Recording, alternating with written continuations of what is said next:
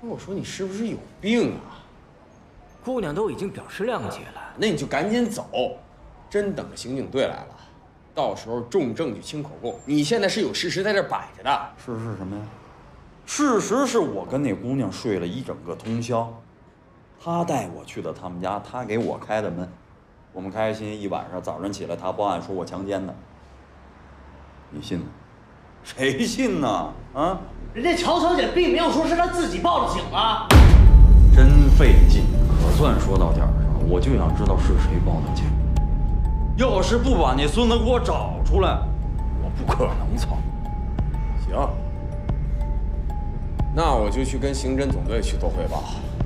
这个事情是幺幺零指挥中心派的，要非在这较劲呢，我们也不可能对上级隐瞒。你在这等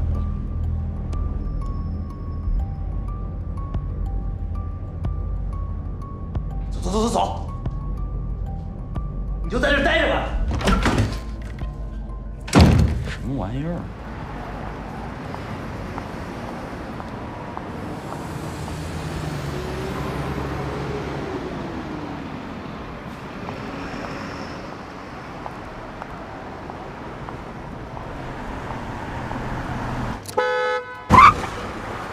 啊，不好意思啊。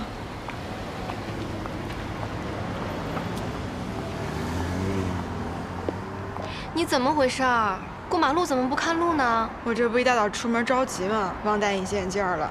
咱马字儿的人有几个眼睛好使的？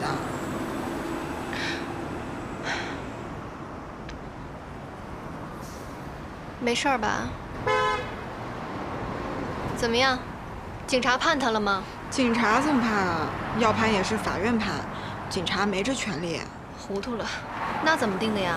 我看张一伟还没出来，他下一步是不是就可以移交拘留所了？我撤案了。你撤案了？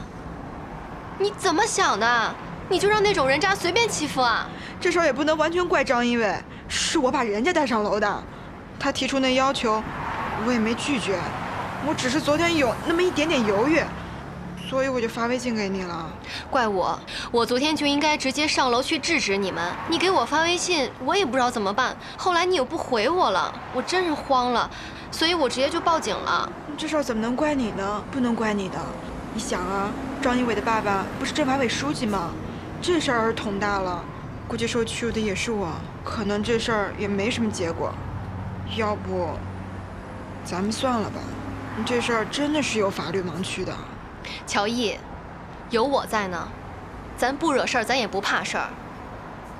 你想好了？我想了挺久的了。昨天晚上这事儿吧，其实我们两个人是两情相悦的，就是警察他突然进来了，我也不好意思承认啊，就造成了这么大的误会。我觉得张一伟就是看上去有点公子哥，其实人挺好的。算了吧。你真打算就这么完了？行，那咱去医院。去医院干什么呀？被人欺负了，二十四小时以内咱得留下证据啊。什什么证据啊？乔伊，咱是姑娘，你不管告不告他，咱得把证据留下来，对不对？要不然以后这哪说得清楚啊？再说了，你就不怕他有病啊？他那种公子哥，阅人无数的，你不怕呀？你们那啥了吗？啥呀？有没有安全措施？行了，去医院吧，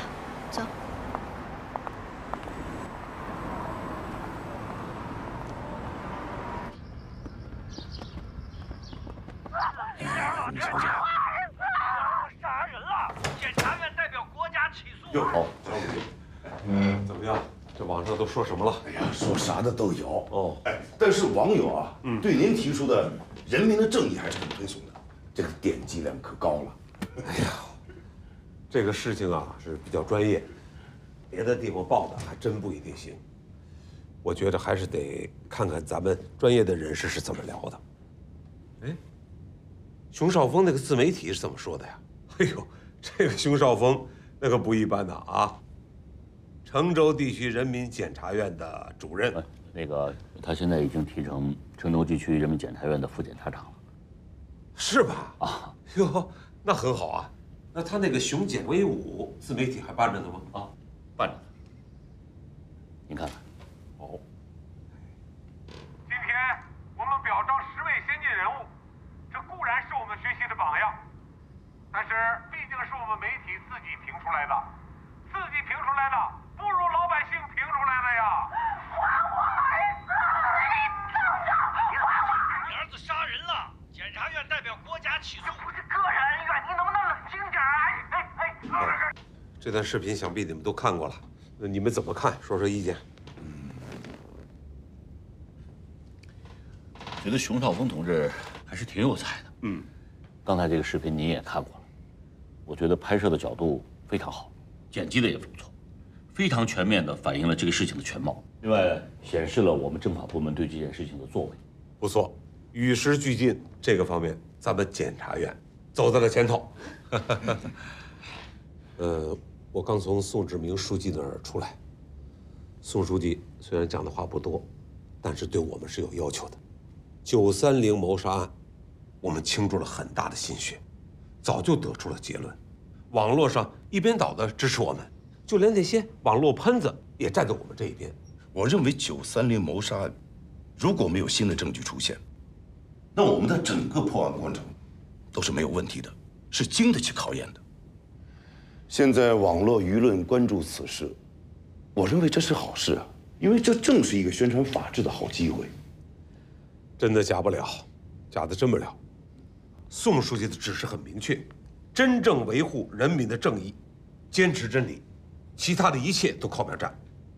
姑娘，别紧张哈，来，把腿翘起来，没事的。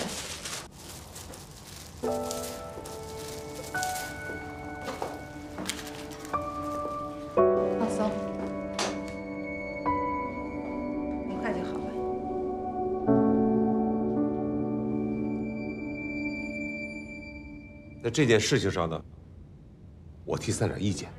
第一，胡雪娥虽然已经出院，但是不能因为这件事情让她再出事儿。无论如何，我们要拿出一个最终的真相来，让她心服口服。在这期间，我们还要做好防范工作，专案组要和当地的派出所打好招呼。她可能经常会去监狱，成州地区人民检察院要和监狱方面协调好，呃，对他的情况进行全程的监控，必要的时候，呃，进行安抚和干涉。第二，老袁，你跟成州地区人民检察院也说一下，让他们密切关注呃服刑人员申广军的状态，呃，以防意外。第三呢，就是我们需要对九三零案件的卷宗进行重新的梳理。我建议用跟此案无关但是经验丰富的老同志来审查，看看能不能从中发现破绽。好，前两条我马上执行。第三条，我觉得有点困难，因为这个案子是上百位专家经手的案子，出现破绽的可能性不大，而且这个案子本身就是一个特别普通的案子，被杀死的徐大发就是一个普通运输公司的老板。这个案子既不涉黑也不涉官，他死的时候就是因为公司负债太多，经营不善，马上就要倒闭了。就算是现在在舆情非常复杂的网络上，也没有一边倒的指责我们，没有人出来怀疑说是我们政法系统判断有错误。所以啊，像他们母子俩这么偏执的维权的，我真是头一次看见。老袁呐，你我都知道，一个案子之所以百思不得其解，往往是因为我们按照常规的思路去思考问题。你看，能不能换一个思路来办这个案子？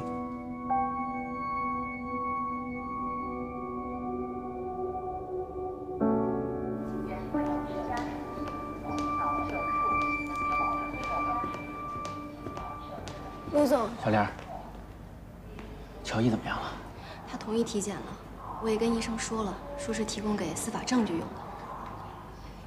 你是对的，乔伊毕竟是咱们的签约作家。再说这个活动也是我让他参与的。出了这样的事情，咱们不能让乔伊白白受欺负。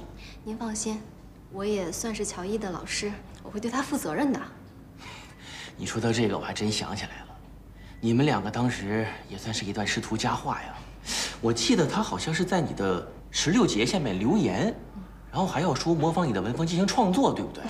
对。是因为这个你们两个成为的姐妹，也是因为这个，你可是给我们波动网带来了一位这么优秀的畅销书作家呀。来，坐下说。卢总，其实有的时候啊，我可羡慕乔伊的运气了。你说，同样是写小说，我写了这么多部，他一部就红了。人呀，可能在太顺的时候，就会失去判断力。我也挺为他操心的。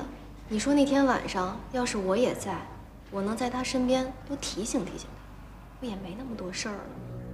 乔伊这一次呢，还真是哑巴吃黄连，有口说不出了。本想着吧攀个高枝儿，但是没想到，让张一伟这个公子哥给下了黑手了。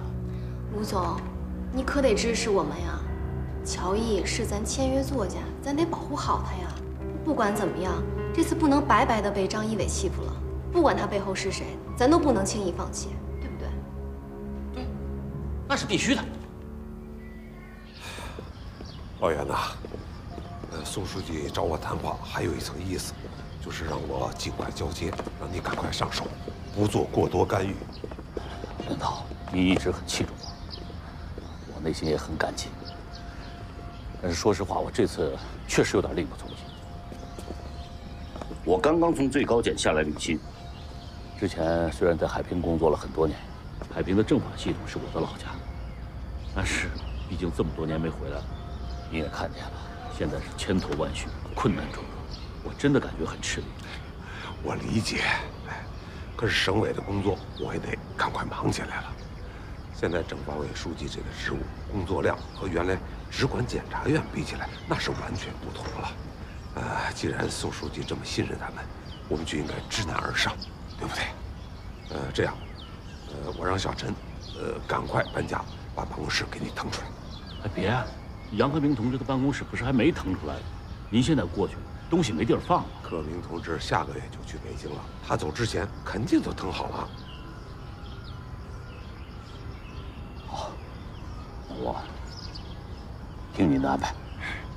现在我看，我们最主要的是要赶紧把胡雪娥的事情搞清楚，不能让她再给咱们添乱了。老袁呐，反正人民的正义这句话，我是讲出来了。你得帮我把好关，嗯，我一定全力以赴。郑州地区人民检察院的人现在已经去回访胡雪娥了，呃，后续的工作我们也会跟上。另外，有什么情况，我随时向您汇报。是，电话联络。好，你走。好，走吧。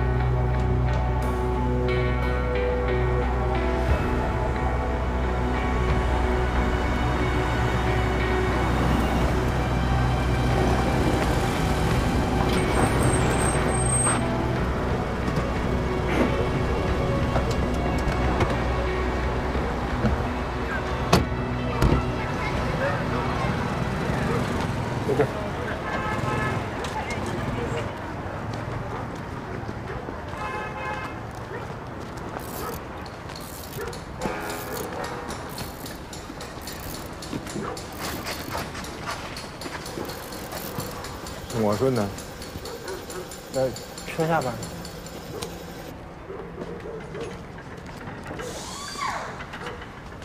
陈广顺，啊，上来一下。谁？上来一下，问点事儿。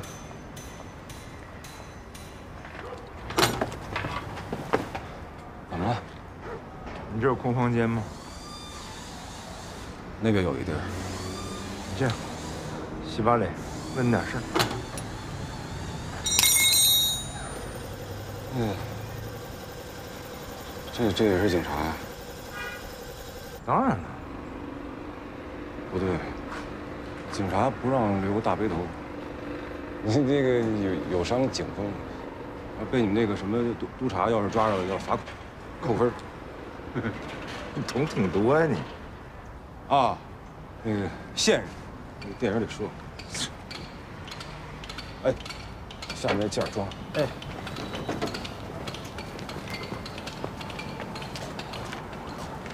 乱，自己找地儿坐。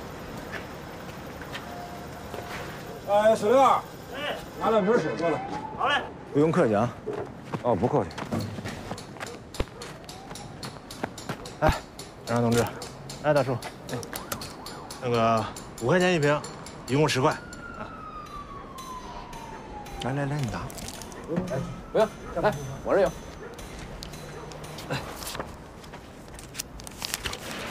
哎，谢谢啊。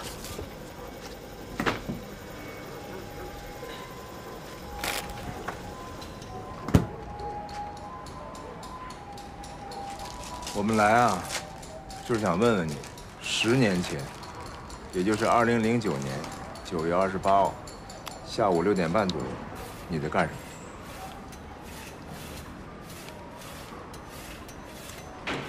哎，组长，我是不是有可以不回答的权利？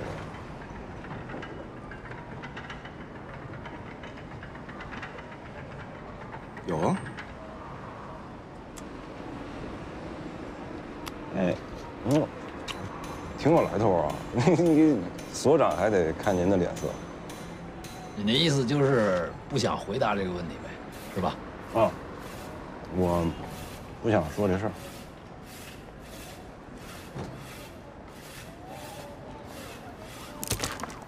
那好，申广顺，我正式通知你啊，因为你涉嫌二零零九年九月二十八日。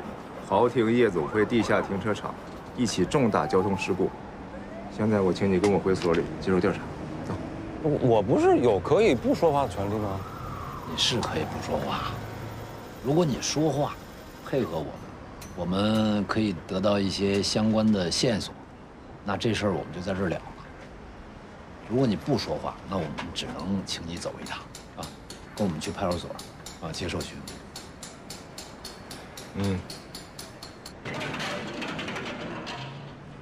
我要是不去，每个公民都有义务配合公安机关的调查，这是义务。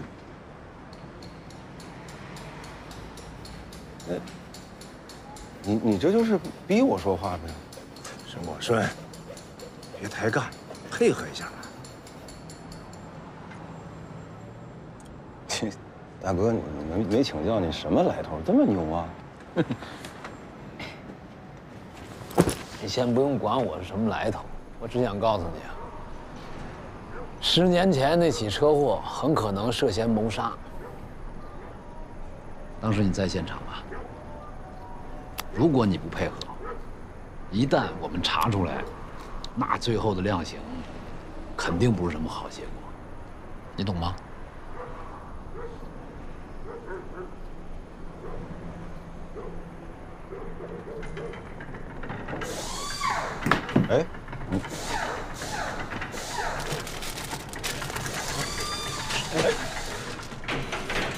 换换，你这一瓶水几毛钱，一根冰棍也就一块多钱。我跟王所两瓶水啊，就算三根冰棍，最多五六块钱啊。我们给你十块钱，别占便宜啊！快坐吧。随便坐，找地方坐。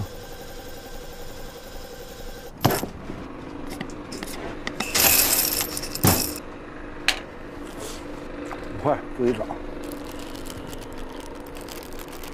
行，生意呢，咱说完了，该聊正事了啊。还是刚才那问题，那天晚上你在哪儿？豪庭夜总会地下停车场。当时发生什么事情了？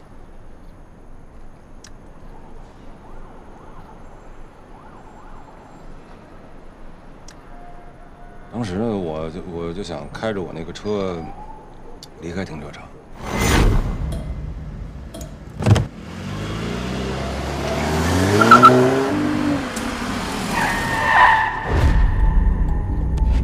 后来我我这个人脾气不太好，我就骂了他。哎，骂完了，他把车就给发动了，跟着我后头追过去。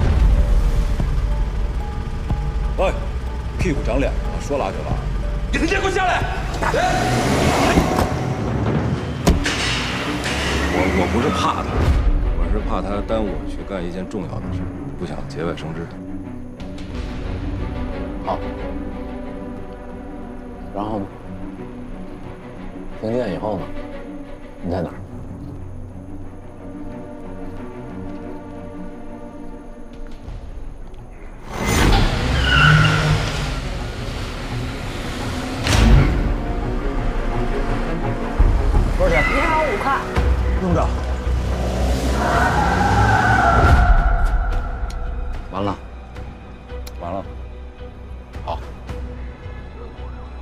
辆车是你的？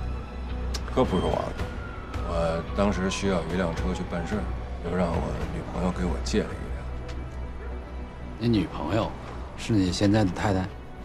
前妻，叫宋丽敏。哦。你开车干什么去啊？那么着急啊？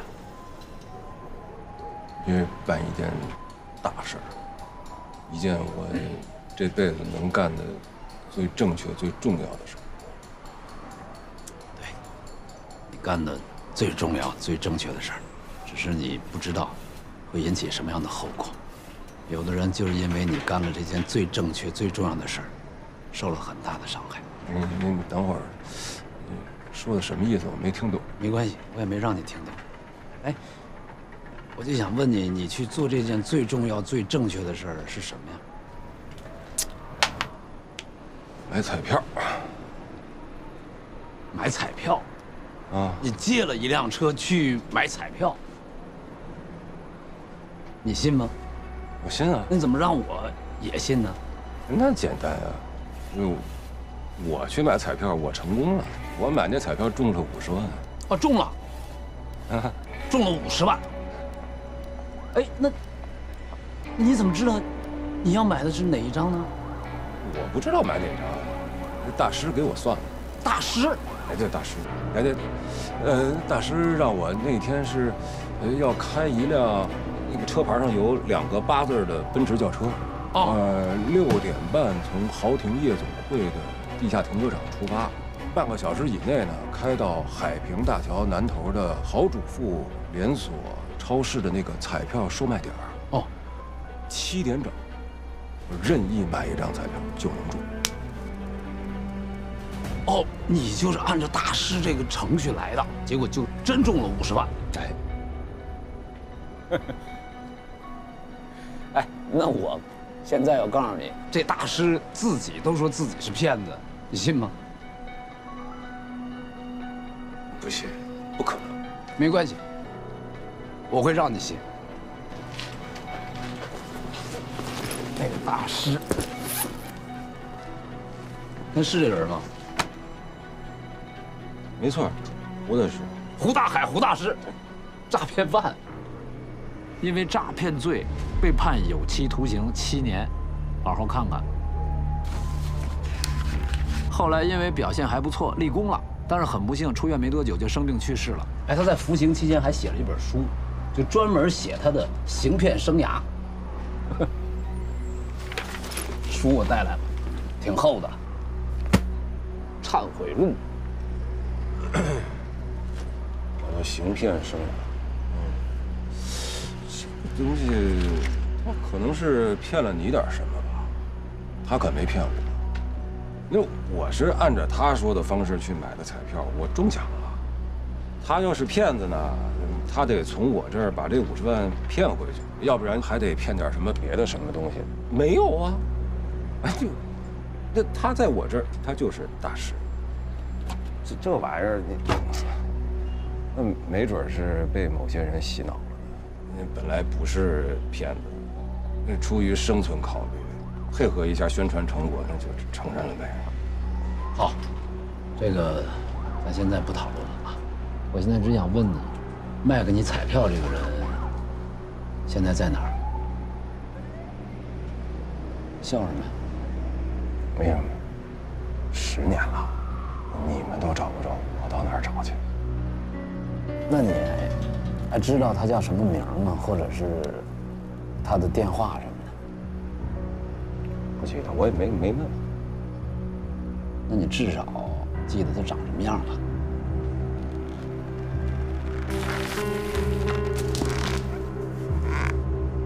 女的，呃，长一个网红锥子脸，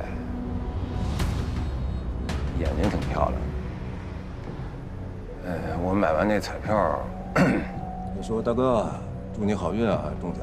说那肯定中，大师给我算的。你这他白我一眼。我说你还信大师呢？大师自己都不信自己了。这个网红锥子脸现在在干嘛？还在卖彩票吗？啊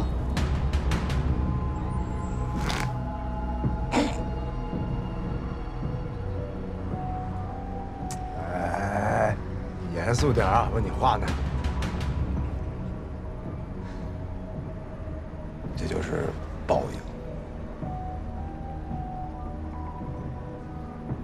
失踪了，我弟弟被判刑入了大狱。你们都干什么了？你别胡说八道啊！公检法一百多人组成专案组，我也在，工作那么长时间，怎么就没作为了？行行行，一百多人，一百多人什么都没查出来，你还好意思跑我这这带什么还调查我？沈广顺，咱别说那些没用的，我现在就想知道，这个网红锥子脸现在怎么样了？没了，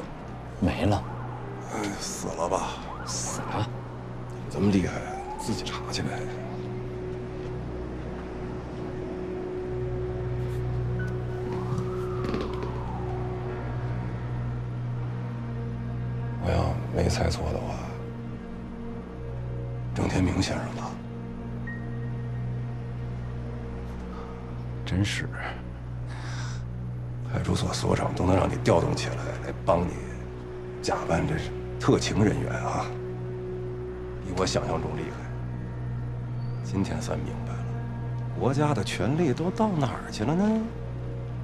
都被你们这帮人拿去乱用了。还查一个什么根本不用查的车祸，这都查什么玩意儿了？你说话注点意啊！十年前，你姐姐在一交通事故中被撞死了，一群人呐，上天入地的查呀，查出什么来了？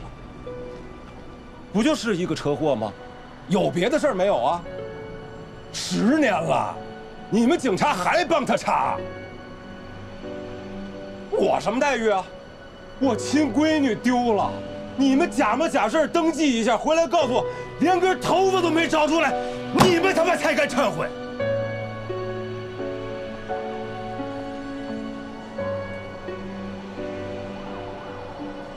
行嘞，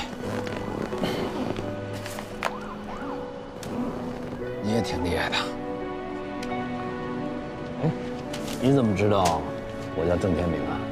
谁还没几个朋友？灯泡王告诉你的。行了吧，我来这套，以后也甭来找我啊！你要再不走，我就打幺幺零报警。你是假扮警察，对不起，所长，你是助纣为虐。一会儿督察来了，你们俩都得进去待会儿。哎，别别，千千万别！江湖路远，山高水长，说不定下一次你会求我呢。此一时彼一时嘛，兄弟，后会有期。组长，不错啊。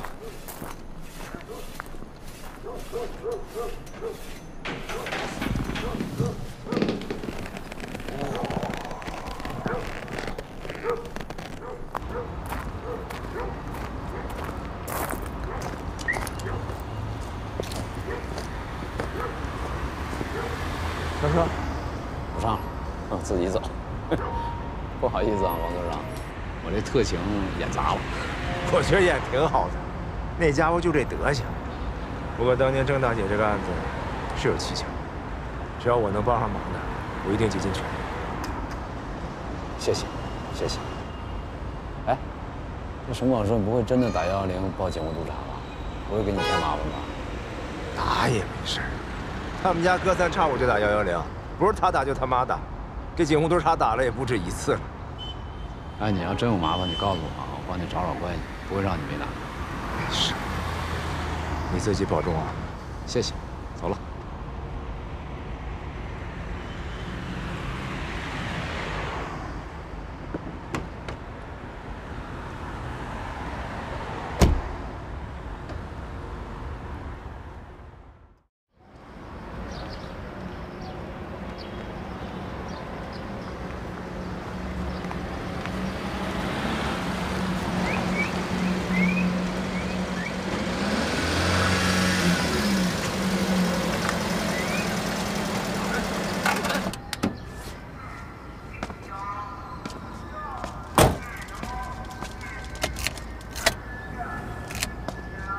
哎呀，广顺啊，最近苗苗有信吗？慢慢找呗，除非谁告诉我这孩子已经没了。唉，不易啊，大侄子，不易。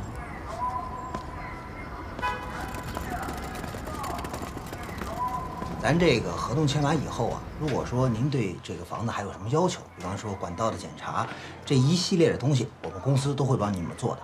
如果说二位对合同方面还有什么要求的话，咱也可以商量。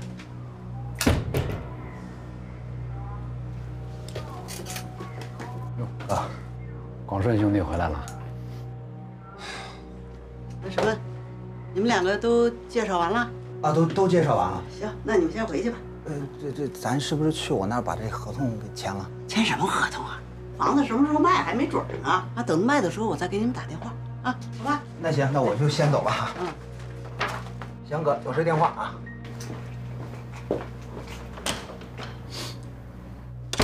你再等等等会儿，等会儿。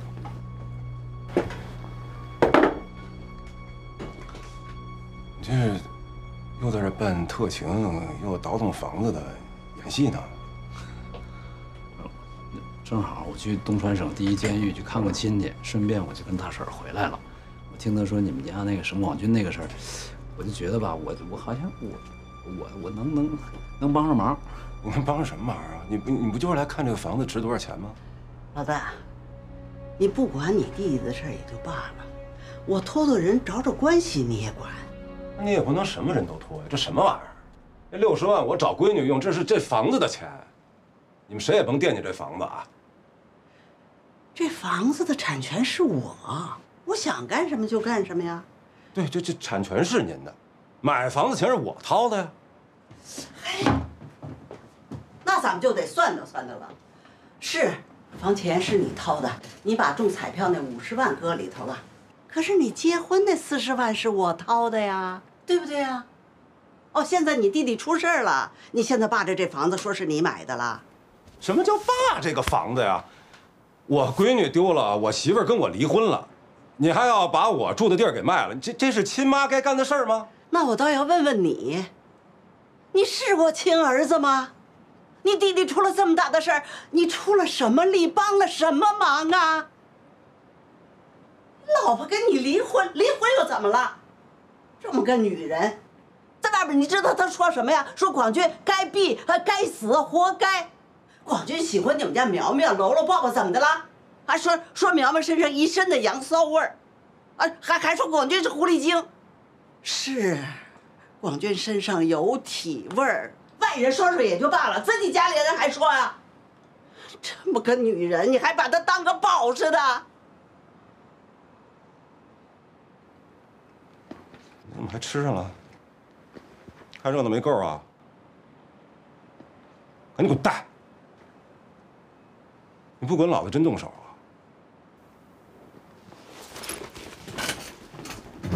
大雄，你等会儿，我看他能把你怎么着。别动啊！我，你要杀他，就先把我杀了。我告诉你，你不管过去跟他有什么仇，这次他能帮我。你找他帮忙，那咱全家都不得好死。不得好死就不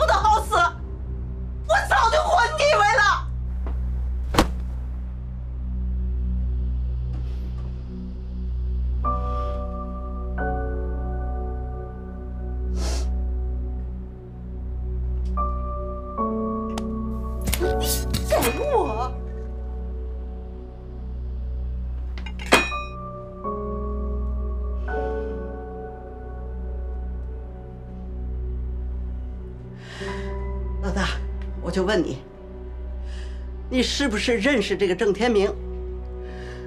他是不是有关系？他是不是有本事？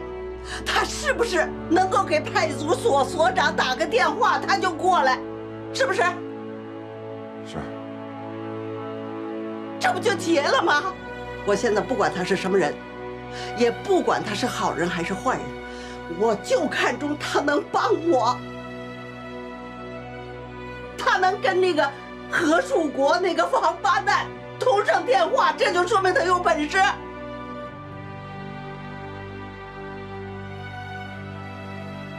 老师，那我还是先走吧，下次再来，反正我离这儿也近，下次再聊，好不好？行行，哎来，大兄弟大兄弟，来，真不好意思，你看看让你受的惊了啊，多帮忙啊，多帮忙。下次再聊，下次再聊。哎。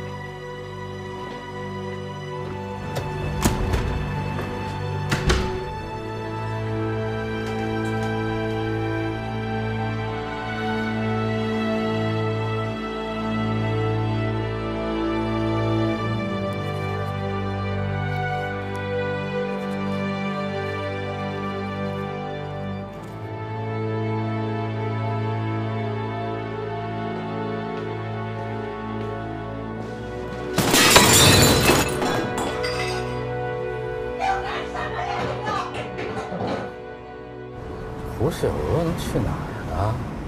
医院没有，家里没有，沈广顺那儿也没有，那一老太太能跑哪儿去啊？还有那沈广顺，那咱们摆明了是帮他弟弟呀，那他是完全不配合，难道他们哥俩有仇？我看有仇，这胡雪娥一家都不是特别正常。你包括沈广顺那个前妻宋丽敏，咱也打过好几次交道了吧？你是不是觉得他那个行为也也也挺奇怪的？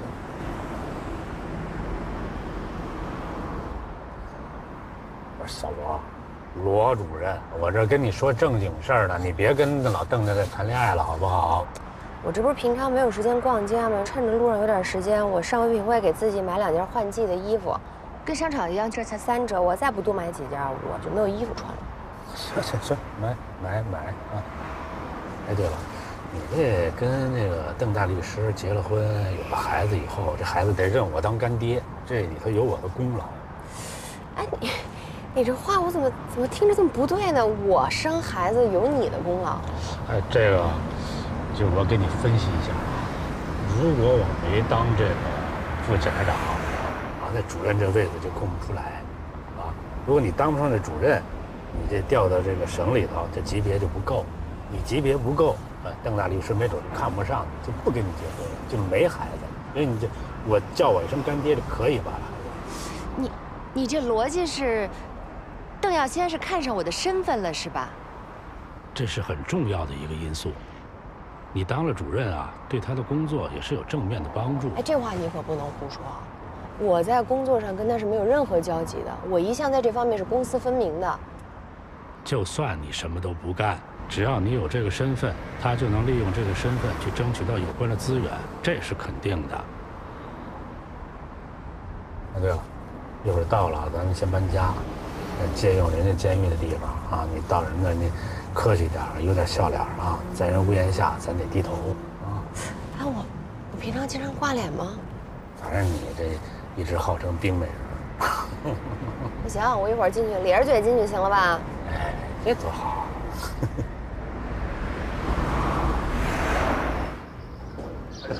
检察长，哎罗主任，欢迎欢迎啊！欢迎大驾光临啊！不是陈检长，你要这么聊天，这话我可接不住了。哎呦哎，今日不同以往，往日啊，你是驻监狱检察室的主任，这今天呢，你可是咱们成州地区人民检察院的副检察长啊，就升了半格啊！和你这个副监狱长，咱们是平级。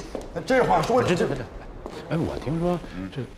呃，王监狱长一直在医院里，那你不就是正监狱长了吗？拿我开玩笑是不是？我还跟您平级，我想都没想过，我还评。哎，就你们啊，新来的这王鹏，我见着他我都犯怵，我还平级，我想都没想过我。王监狱长随时都有可能回来啊，好多事儿都得指着他当家做主呢。我现在是替领导，我先扛着。说实话，要不是因为我原来的办公室一下雨漏的跟淋浴房似的，也下不了决心说整改啊。不是这多大工程啊？是啊，多亏关键时刻你能出手相助，要不我们这几人连办公的地儿都没有。初到贵宝地，老陈同志，请你多多关照。哎哎，熊检察长，您跟我打官腔是不是？没没啊，这办公楼层空着都两年了，你们要想要来，我是求之不得。这，哎，而且啊。这一下，咱们两家这关系不就更好了吗？啊！我今天啊，刚组织在电视上观看你的光辉形象，我是真没想到啊，您这网红检察官粉丝量可真不老少。政治任务，你总得有个出头鸟不是？理解理解理解。哎。你你看看这儿有什么不满意的？哎哎，放下放下，没事儿，不沉，搬好了。你说咱们院就你一个小年轻的，一个小姑娘，这么多大老爷们让她干体力活啊？我来，我来。没事没事，还是贤主任心疼我。呃，那那行，那那那你忙着，你先忙着。好好好，那那那没什么事啊，有事随时招呼我。好好好，谢谢谢谢谢谢，再见再见再见，辛苦辛苦啊，辛苦。里边有黄瓜，咱地里长的头茬瓜。顶花带刺儿，绝对新鲜啊！你自己吃，没有几根，都给那帮臭小子吃。谢谢主任，我今天要是有您一半疼我，我就谢天谢地了。我儿子有你一半那么听话，我也谢天谢地。谢谢。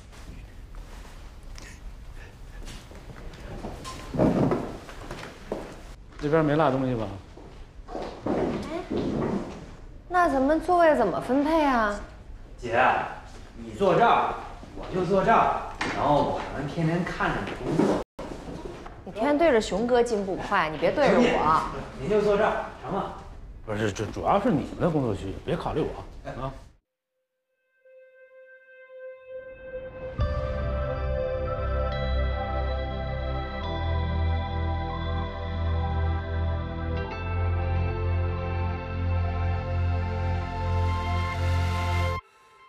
有多少回迎着怀疑的目光，懵懂选择梦开始的地方？有多少回抬头仰望着天空，默默忍受，假装低头坚强？当命运。所有困难。